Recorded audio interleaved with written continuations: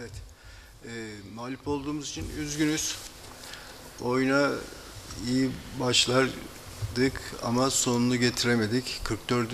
dakikada yediğimiz bir gol e, ilk yarıyı 1-0 mağlup bitirmek ve ikinci yarının başında yediğimiz golle oyun planlarımız olduğu gibi düştü. İstediğimiz şekilde oynayamadık. Üzgünüz. Soru var mı? Buyurun.